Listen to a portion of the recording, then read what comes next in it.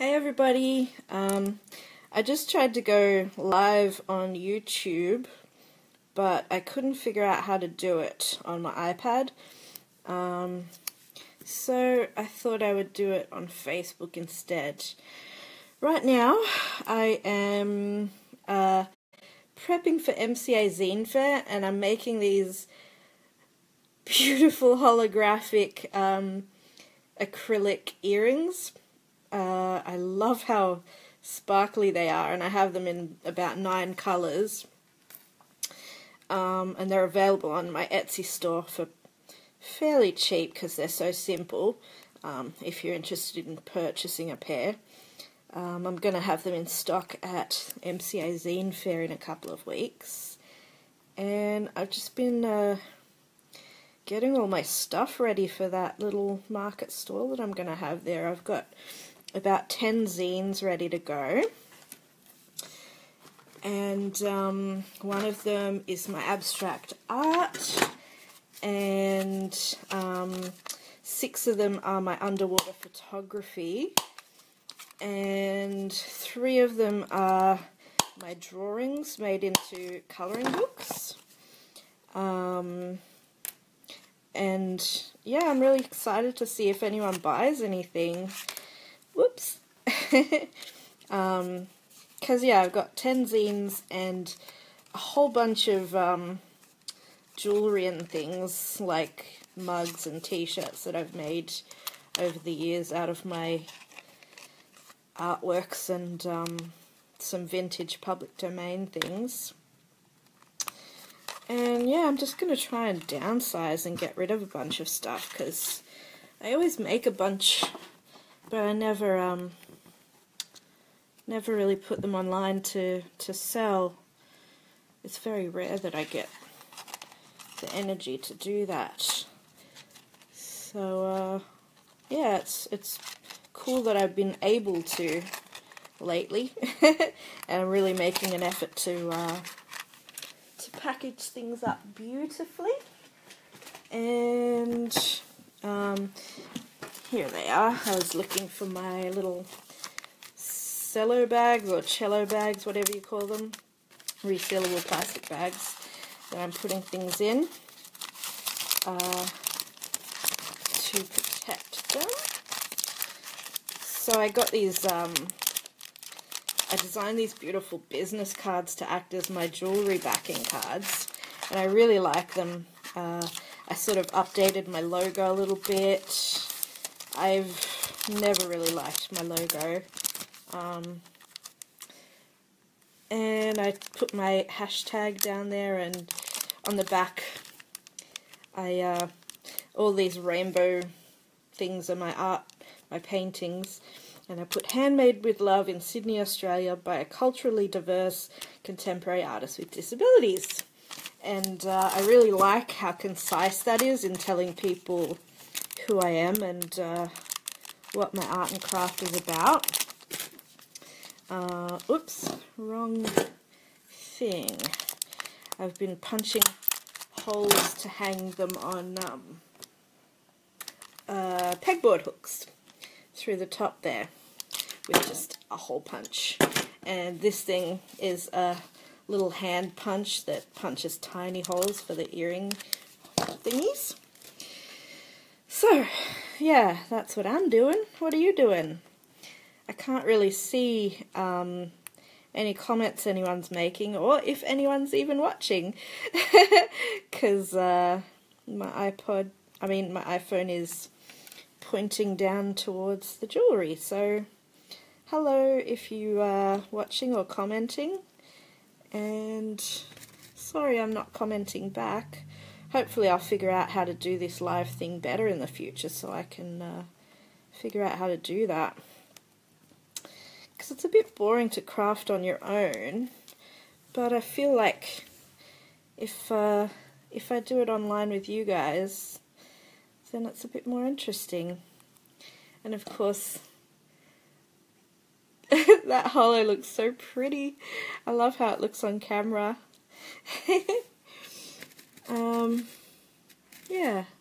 So what else? I've been making some resin octopus necklaces and some Shrinky Dink pin-up girl earrings and lots of badges of course I'm gonna have um, a box of vintage comics to sell there too because uh, I came across a box of um, I guess it was ex comic shop stock uh, in a Salvos once and I just bought the whole box because um, I got all excited to see comics. Uh, but they all ended up being the same ones, like tons and tons of repeats of the same comics. So I'll have those for sale really cheap at the Zine Fair. Um, and what else? A couple of mugs that I made. A couple of them are hypercolor mugs with, um, if you put hot water in, put your coffee in, it changes color to a pattern that I sublimation printed on the mugs. So they're pretty cool. One says, kiss my fat ass. And the other one is my Obey collage, which is um, hundreds of vintage photos of um, cheesecake photography from the 50s, some from the 1800s, um, up till the 50s and 60s that I collaged, painstakingly cut out over months and months and collaged into a beautiful big print. And I uh, print that on uh, various things like mugs and leggings and t-shirts and things. Um, I never wear the leggings though, they're really cute. Winter's coming, so hopefully I'll get a few chances to wear them. Uh, they're a cute little outfit, but um, they seem too expensive, so nobody wants to really buy my clothing prints. Never mind. I hope someone will buy these hollow earrings instead. hmm. What else can I natter on about? I have some uh, printed doilies that I did too. They're pretty cool. I got um, some vintage comic book covers.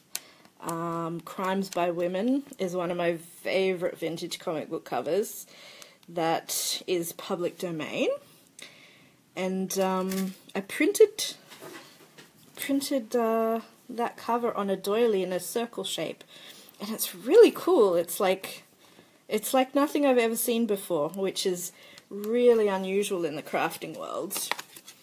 Um, and at one stage, I was hoping that would be a little niche thing that I would be able to do um, as a little online shop. Um, but my printer broke that I printed the um, doilies with. So, yeah, that never got off the ground. But I'd like to get back into it someday because I had a couple of really huge artworks planned that um, used that technique.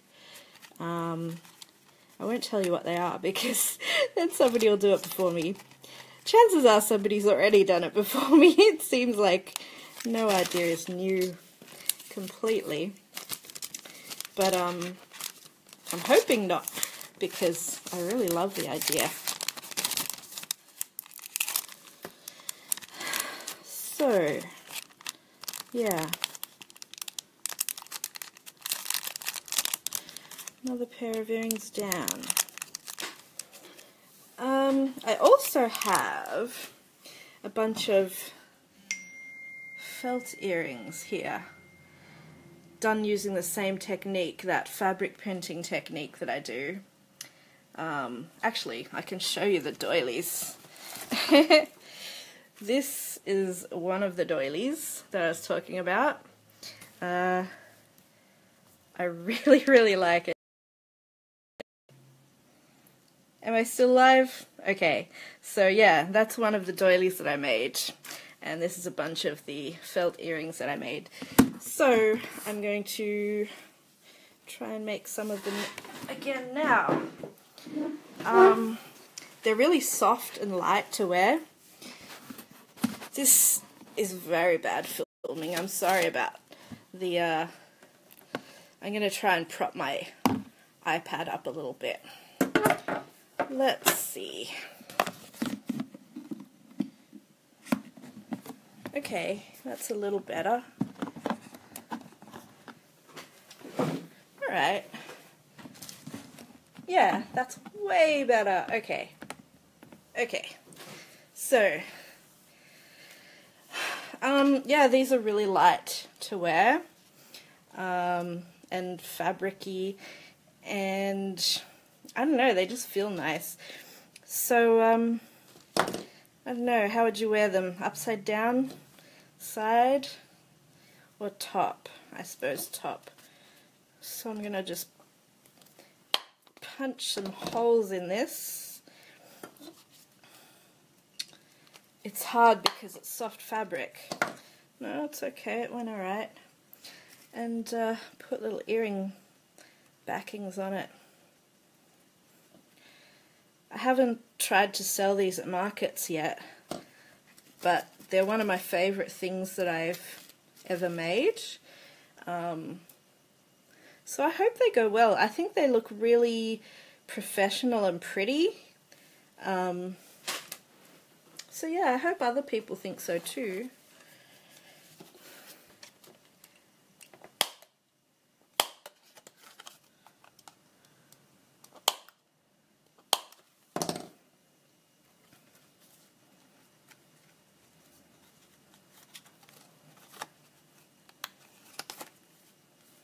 What do you think? I wish I had bigger backing cards so that uh, the, teacups wouldn't go over the edges. Or, what I should say is I wish I had printed the teacups smaller. But I do love big chunky earrings. So I hope somebody's going to feel fabulous with these giant tear cups. teacups. Teacups. Teacups. Wow, that was a huge Freudian slip. wow. So you can store the tears of your enemies in these tear cups. um, and slip them down. This is going to have to wrap around the edge, I think get in the cello bag. I don't know if I'm pronouncing that right. How do you say it? Cello bag or cello bag?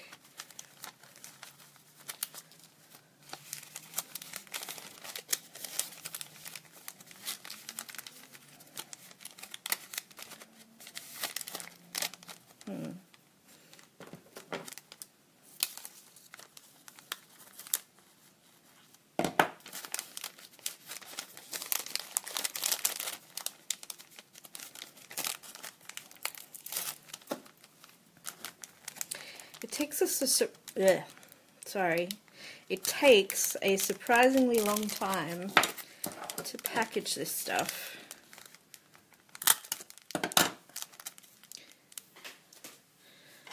Um, and it's sort of meditative.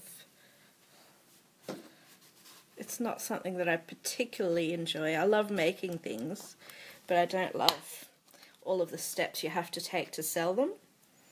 Um, photographing them and then doing the listing and then packaging and all of the boring stuff I don't really like. Um, so that's why I have all this stuff that never really gets sold, which is pretty crazy. Um, but that's okay. I'm working towards it slowly. Things don't have to happen immediately. They can happen in their own time.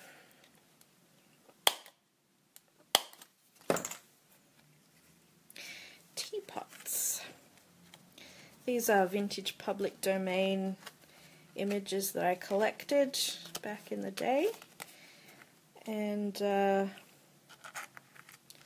nowadays I prefer doing stuff with my own art, but I went through a lot of phases where I was very keen on vintage public domain collages and prints. I, I still love them. I just feel like um, I feel like creating my own stuff is more um, emotionally fulfilling. Um, yeah.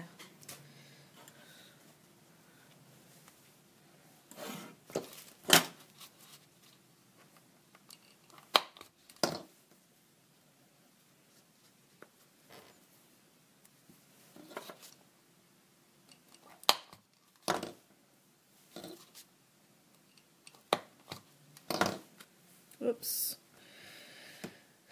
Where's the couple to that teacup?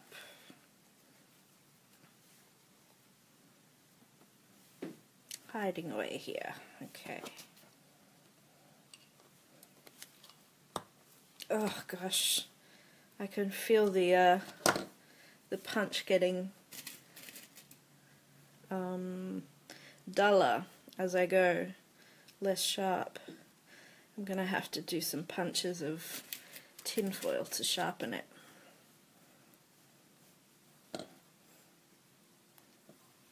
I thought doing these would take a long time. I suppose to do the whole lot it will take a long time, but it's going quicker than I thought it would, which is good because uh, again, this is one of my least favorite things to do is doing the packaging and the setting up. I doing I love doing the printing and I love doing the the wearing. I love wearing these chunky light felt earrings.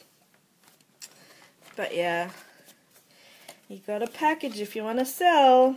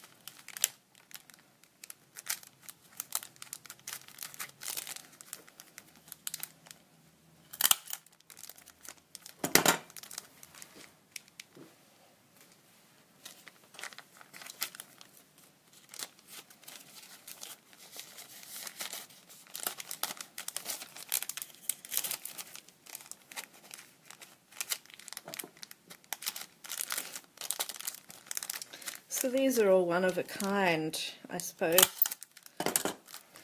I've I've just been uh, sitting here thinking I wish I still had the printer because these are so beautiful. They look especially beautiful packaged up.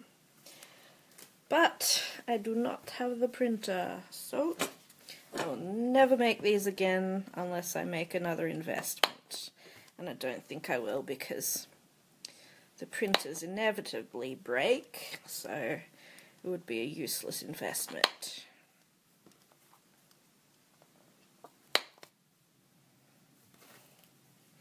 Got some typewriters here too.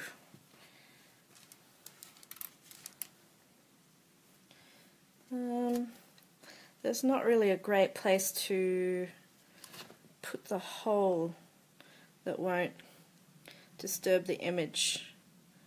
So I'm just going to have to put it through the image. I hope that doesn't make it too ugly for whoever buys it. I've got these books that I really enjoy. I really love how they look. Um, I've never read whatever book it is, but this lovely illustration of it just really spoke to me. Um, so I think I'll put the hole in the corner, but it will ruin the lovely binding, but okay, it doesn't matter.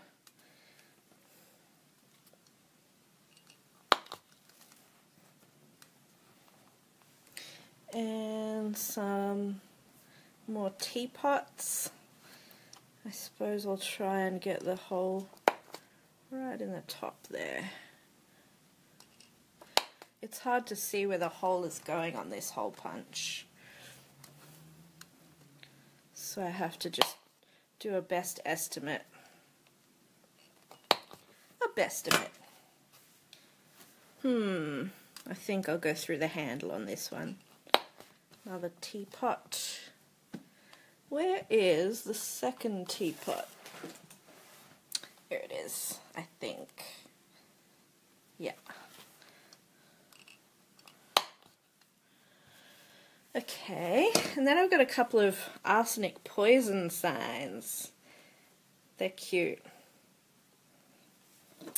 So I think, I don't know if I should go through the middle or through the corner. Maybe through the corner. Ugh. And I'm going to do them on opposite corners. So they'll dangle on the ears. One up, one down. Alright. Uh, I think these two are some of my cutest little felt earrings. But I don't know where to put the hole on them, so I might make them badges. There, I actually stiffened these. These felt ones are not stiffened at all. I just printed on the felt, so they're really beautiful to the touch. But these, I put fabric stiffener on, so they're more, you know, they're they're less bendy, and um, so I think they'd make a good badge rather than earrings. Um, these I did them with too, but I don't think the print turned out very well on these, so I might just, I don't know, stick them in a book or something. Um, these ones I really like. They're, again, the uh, vintage com comic book covers, public domain uh, comic called Crimes by Women which I really like. It's the same cover as this doily. You can see. Isn't that cute? So yeah, hopefully they'll be cute earrings for somebody. And I have some teapots and uh, typewriters. Looks like these are slightly different size typewriters. And it looks like I'm I've still got to cut out the edges of these ones, so I'll put them aside for now. What else have I got? Another ugly one. Ooh, these are nice. Okay. Some teapots and teacups. I went crazy with the teacups, huh? I hope somebody buys them and enjoys them.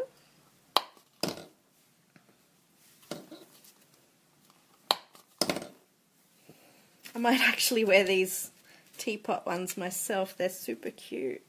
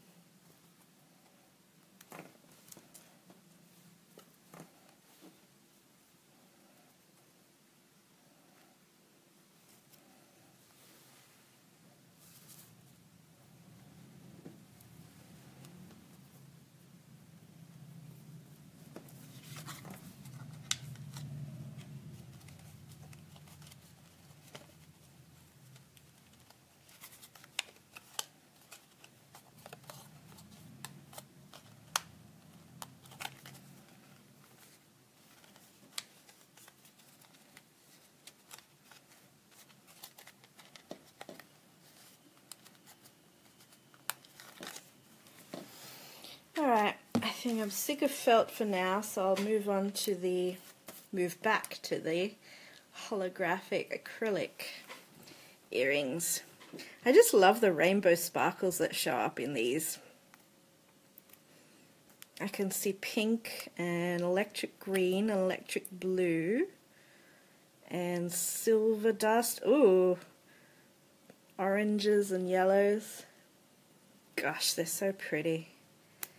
I have them in a whole bunch of colours. I have blue and yellow and, well, the yellow is gold. I have black, gold, silver, um, red, pink, blue.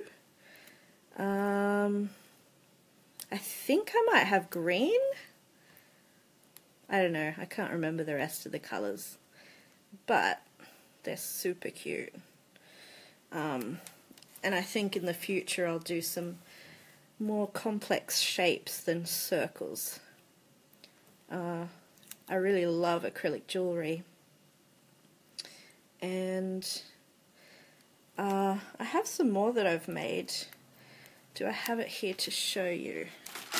Ooh, I do.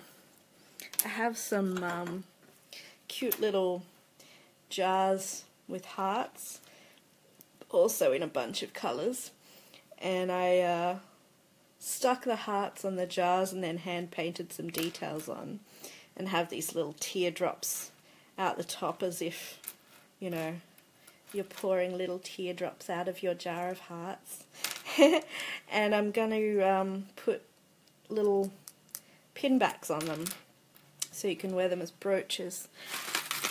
And I also thought about putting earrings on them and um, I don't have pierced ears so personally I attach my earrings to ear cuffs um, which is I find the most comfortable way of wearing earrings um, without pierced ears because uh, all the other ways to wear that wear it just hurt my ears too much and I've also made this sort of hair clip clothes clip with a little hair clip attachment on the back.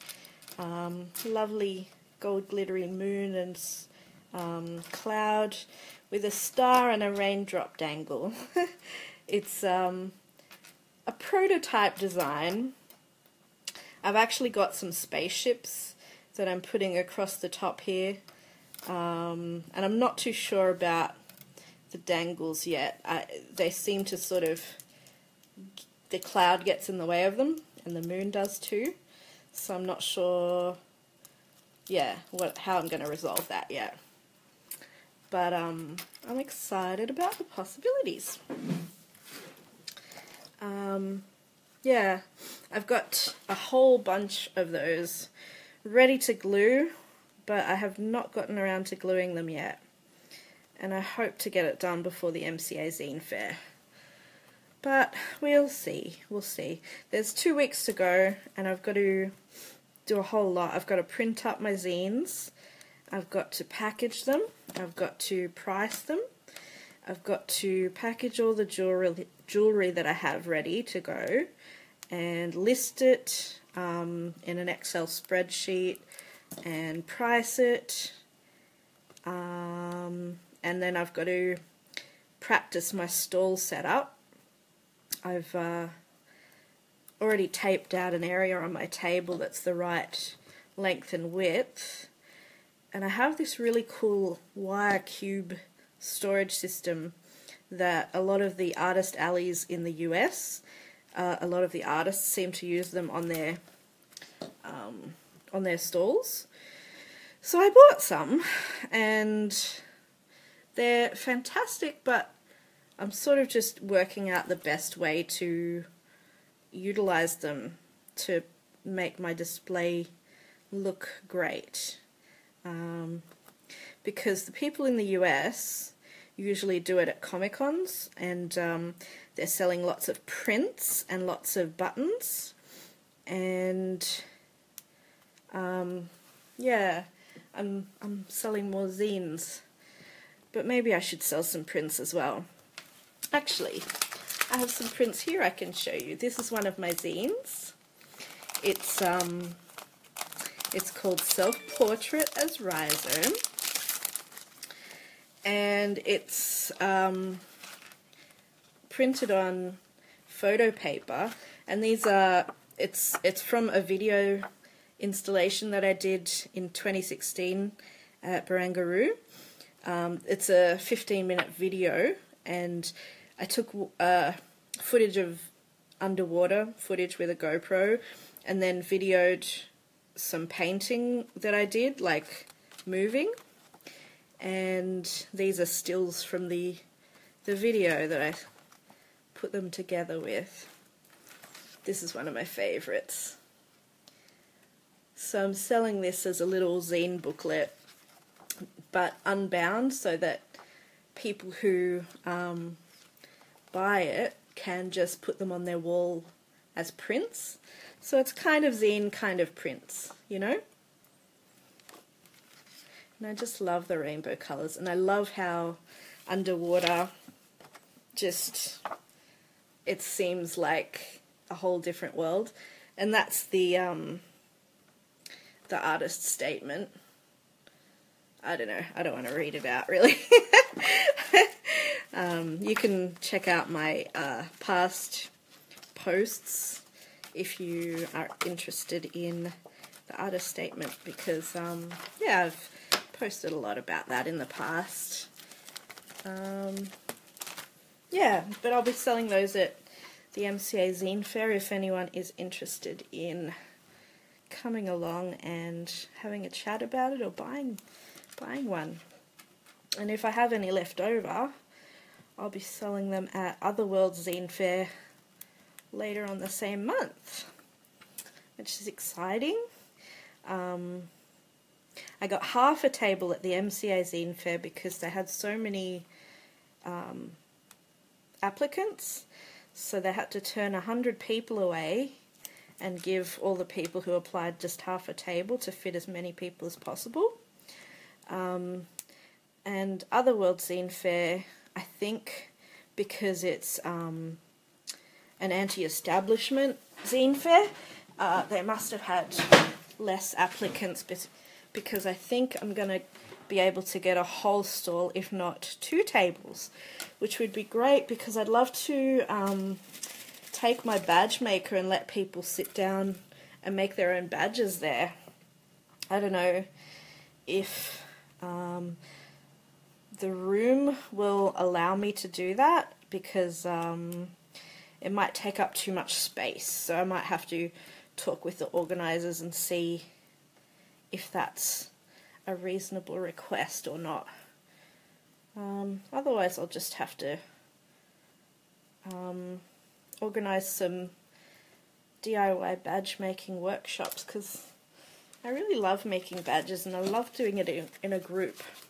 It's so much fun. And the workshop that I did last year everyone seemed to love it so much. I did it with um, people with disabilities and their carers, and they just really had so much fun. Oops, I'm putting this in backwards. Great. that shows how tired I am. uh oh. But yeah, I'd love to put on some more badge workshops. Uh, there we go. They were all asking me on the day if I did birthday parties, but um, that seems like a lot of stress. uh, it's probably a good business model for somebody, but I don't think I could handle that.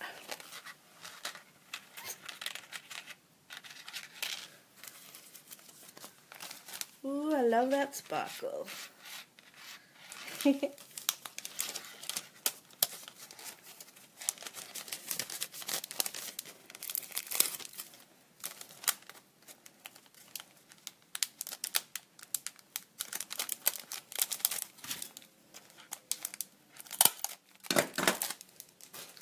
Alright, I think I'm done for the evening. Thanks for watching if anyone watched. I don't think anyone's watching now, but bye! Thanks for watching. I hope you enjoyed this week's video. If you'd like to watch more, click on the video to the right. If you'd like to help me make more videos, click on the left to donate a dollar to my Patreon account. And click on the circle in the middle to subscribe. Bye, sweethearts!